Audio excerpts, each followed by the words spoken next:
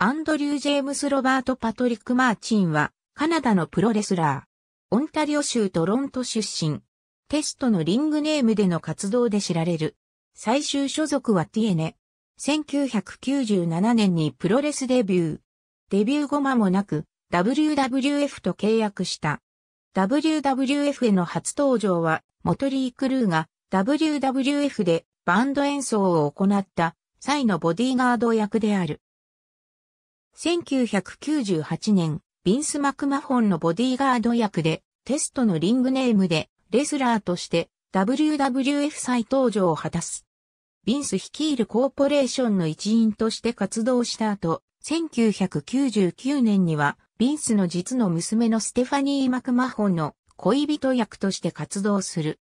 RAW の番組にて、ステファニーとアングル上の結婚を予定していたが、トリプル H にステファニーを奪われるストーリーを演じた。2001年には、アルバート、トリッシュ・ストラタスとタッグチーム T&A を結成して活動。2001年後半には WCW ECW と WWF の団体対抗戦ストーリーが始まり、WWF 以外に所属した過去がない選手で、あればほとんどベビーフェイスで固まる中、WCW& ECW 連合軍であるアライアンスに加入した。2002年にはクリスチャン、ランスストーム率いる嫌米軍に加入し、ヒールとして活動した。同年10月からは、当時実生活においても恋人関係にあったステイシー・キーブラーが番組上でも恋人兼マネージャーとなり、共に行動するようになった。ステイシーとは2003年のロイヤルランブルまで共に行動したが、その後もステイシーとのストーリーが組まれた。その後、嫌米軍に所属していた過去がありながら、嫌米でフランス至上主義タッグのラ・レジスタンスとの抗争が始まり、同じく、レジスタンスと敵対していたスコット・スタイナーと、利が一致する。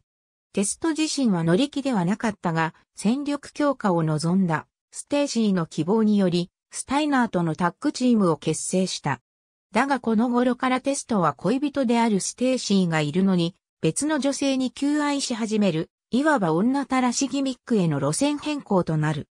愛情を失ったのかステーシーを盾にしたり、都合の良い道具として扱い出し、そこにスタイナーが介入したことで、スタイナーとテストニコンが生まれ、ステーシーをめぐって争う古典的ストーリーが展開された。2004年に入り、リングでの活動で酷使してきた首の怪我が悪化し、WWE を休場。しかし休場中である同年11月1日、治療費などの経費等を渋った WWE に解雇された。なお、怪我が回復次第再契約してもいいとエージェントのジョニー・エースを通じて申し込まれたが、テストは結構だと断ったとされている。2005年の5月にリング復帰。以降はインディ団体を中心に試合を行っていた。2006年に入り WWE への復帰話が浮上。同年3月22日に WWE より契約が発表された。その後は WWE 版イカップリングウィズに所属し、王座前線の一員として活躍する。パワーファイトでは説得力10分のレスラーではあったが、もともとレスリングの展開力が団体内でもあまり高くなかったため、レスリング技術やハードコア重視のイカップリングウィズに在籍すること自体、適所とは言えなかった。ステロイド使用が発覚したため、2007年2月に解雇された。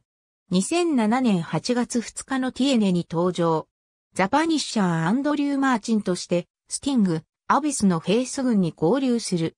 2007年12月19日、プロレスからの引退を発表した。2008年3月のアイルランド遠征で最後の試合を行う予定であった。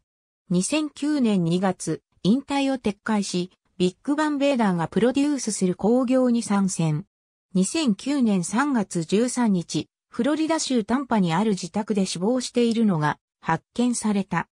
死因はオキシコドンのオーバードーズによるものであり、晩年には慢性外傷性脳症に苦しんでいたことが明らかにされた。ありがとうございます。